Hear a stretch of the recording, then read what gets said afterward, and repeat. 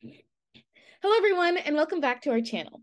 Today we're going to be creating a spelling test in Scratch. So the way that this program is going to work is that the program will actually say a word out loud and the user will have to try to spell it giving one letter at a time. So in this project we're going to be using a couple of loops, list, and string indexing. So if you haven't learned about any of those three things yet before, go ahead, check out our channel, watch the videos that cover those first, and then come back here to work on this project with me. So without further ado, let's get into today's project. All right, so as you can see, we're starting from a slightly different place than we have in the past. Today, we're going to actually be using some starter code. So you can find the link to the starter code in the description box down below. Um, and I'll show you how to use the starter code and start building on it. So once you click on the link, this is the page that you will see you'll have to make sure that you're signed into Scratch first in order to see this remix button. But if I go ahead and click on this remix button, it makes a version of this project for myself. So this is a brand new project with some starter code. And this project actually has some nice instructions for us. So we can kind of use these instructions um, alongside, uh, like we can look at these instructions while we work on the project. So I'm going to move this over here a little bit. And let's see what we have so far. So as it says here, the starter code already has a secret word picked out and saved in the secret word variable. So we have this secret word variable that is picking a random word from a word bank that has been pre-created. So this project assumes that you haven't worked too much with lists yet, which is why that which is why they have this done for you. So let's take a look at our secret word and I'm actually just going to get the save block over here. And then I'm going to come down here to variables and I'm going to pull the secret word so that we can see what our word is. So algorithm, and you'll see if I run it again, you get amazing. We'll see if I run it again, you get Python. So one little trick, if you're curious about the words that are in the word bank, you can come over here and just check this box and it will show you the list of all of the words. And same with these variables, um, you can kind of see the secret word like that as well. So I think I'm going to show the word for now just so that we can have access to it and use it as an example. Okay, so once again, like I said earlier, we're going to actually have the program speak the word out loud. So just like how if you're in a spelling bee, for example, right, the person who's running the bee will say the word out loud and then you have to try to spell it. So we're kind of mimicking a similar thing. To do that, we're going to actually add a little plugin to our project. So we're going to come down here on the bottom left and we're going to choose the text to speech. There we go. So notice that we have three blocks, three new blocks, one that says speak. And if I click on this, and let me actually make sure I'm sharing my sound.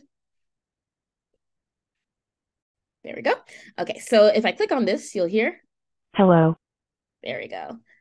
Hello. Hello. So that is how we can get our text to speech. And you can also change like your voice. So if I change this to uh, a kitten, for example. Meow. It sounds a little different and they have some different languages as well. So i for example speak korean. Let's see what happens if i try clicking on this. Meow and you could i could probably put in some korean for it to to work. But for now all we need is basic english. So let's get english back up on here.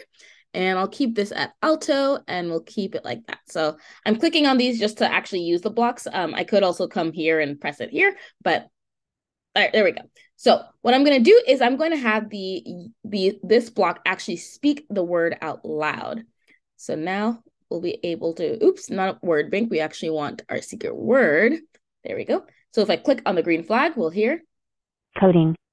Coding. Awesome. Alrighty, so here we have our word. So, well, I'm gonna actually make this a little bit more fancy by grabbing this join block. And what the join block does is it allows us to add two strings together. So if you forget what a string is, a string is a combination of numbers and letters um, that that are considered a like text type as opposed to a number type. And so you can add strings together by using this join block. For example, I can say the secret word is, and then put this here and now when I put it here, it's going to say the secret word is and whatever the secret word. So let's try that. The secret word is incredible. There we go. All right. So that is our um that is how we're going to present the word to the user. And so I'm going to um, have us wait one second just so that the user has some time. And then I'll say text to speech. Type the letters in one at a time in order. Okay, so we want the user to type these words in one at a time.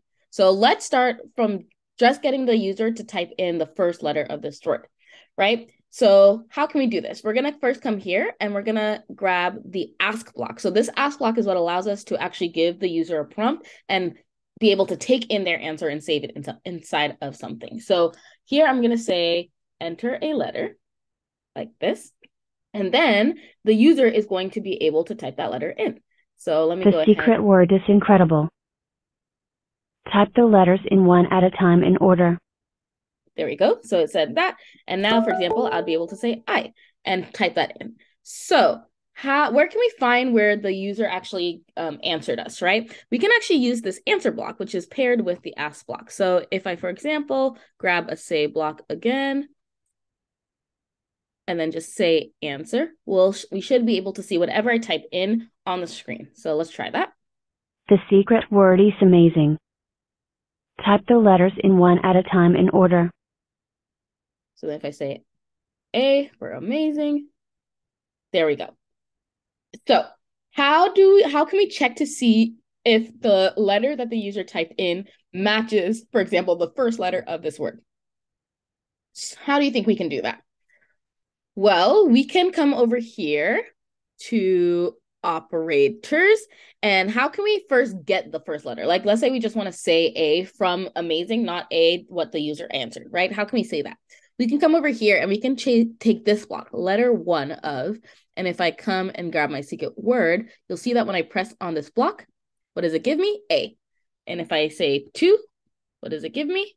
M. So I can use these numbers to get the actual word. So for example, I can have letter one of a secret word, and then I can get a conditional statement over here that says, um, if this letter is the same as the answer, then we can say like correct or something of that nature. So let's go over here to the operators. We're going to grab this equal block. Where is it? Here it is. We're going to say if the first letter of secret word is the same as the answer that the user gave us, then we can say correct. I'm going to go ahead and do that. And then I'm going to say answer. So if the answer is the same as the first letter, and then I can put that here and I'll come to text to speech and I'll say correct. Like that. Okay, so let's try that and see how it works. The secret word is incredible. Type the letters in one at a time in order. So now if I type in the letter I, the first letter. Correct. It says correct. And then I can do an else that says incorrect, for example. And what I'm gonna, the way that I'm gonna make this work is that if the user gets a letter wrong, they lose and the, the program ends. So I'm gonna say, um, sorry, that letter is incorrect. You'll get it next time. And then I'm gonna grab, or yeah, let's let's do it like that actually. And then let's try again. This time I'm gonna the secret word is Python. Type the letters in one at a time in order. Okay, so I'm gonna put in a random letter G. Sorry, that letter is incorrect. You'll get it next time. There we go. So we made it so that if the user gets the question right, we'll get, say correct. If the user gets it wrong, we'll say incorrect. So we're getting closer to what we want for this project. However, we want to be able to go through the entire word and check each word one at a time. So what can we use to do that? We can use a repeat block, so a loop. So I'm going to come over here to control and I'm going to say repeat. So how many times do we want to repeat it, right?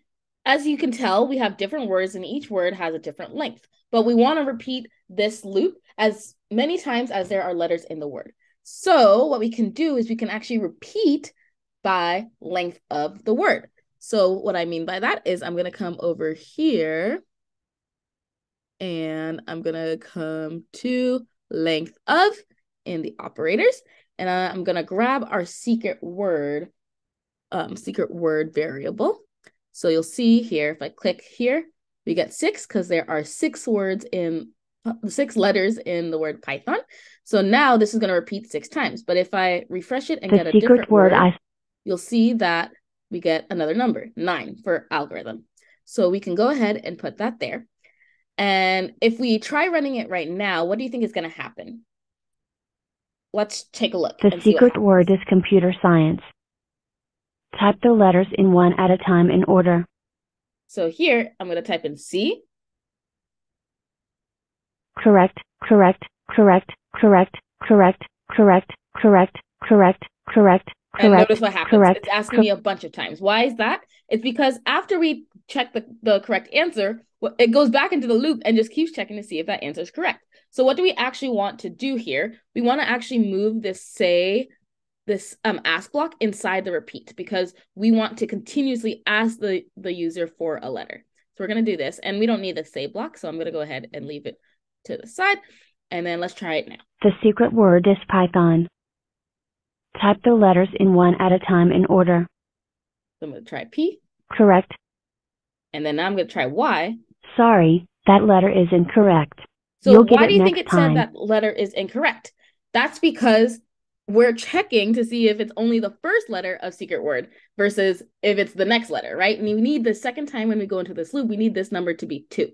So what can we do? We can create a variable that starts from one and updates every single time we go through the loop. So what I'm going to do is I'm going to come over here. I'm going to make a variable and I'm just going to call this counter. And I'm going to set counter to one at the beginning of our program. So I'll just put this up here. And then I'm going to, instead of saying one, I'm going to put counter here. And if the user gets the number correct, I'm going to change counter by one. So I'm going to increase counter by one so that when you start, counter is equal to one. And then here we're going to say letter one of secret word. We get it correct. Counter increases by two. We come back in again. The ask the user for the for the letter, and this time counter will be two. So we'll be checking the second letter with that with that second um second letter. That second time we go through the loop, we'll be able to guess the second letter. Okay, so let's try that, and I'll keep this counter so that you can see it change up here. The secret word is incredible. Type the letters in one at a time in order. So I'm going to say I, Correct, N, correct, there we go. And now it's working. correct, R, correct, E. correct. And if I get it wrong, for example, so let's say I say B. Sorry, that letter is incorrect. You'll get it next time. Awesome. So after it says sorry, right, we actually want the program to end. So how can we get this program to end?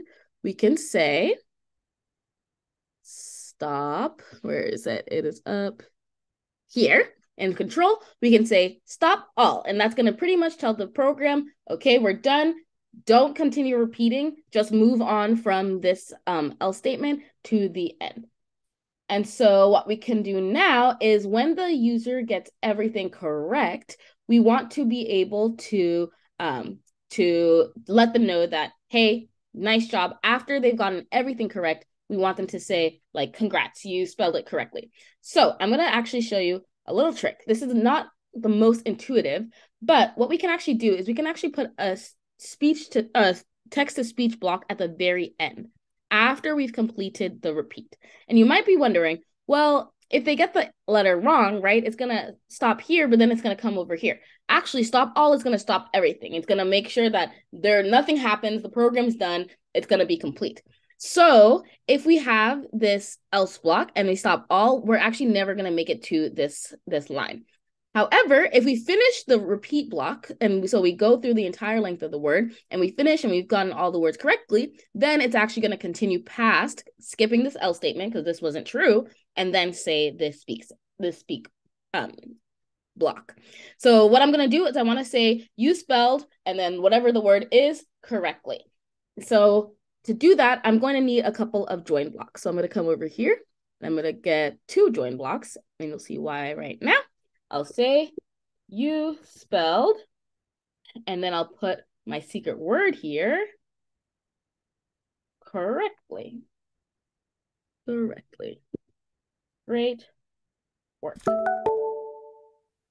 So now if I grab a let's see what I want to do this in this the, text to speech block, we should be able to see our word. One little thing I want to do is I want to um actually show the guess the letter the letter that the word oh sorry the letter that the user guessed up on the screen.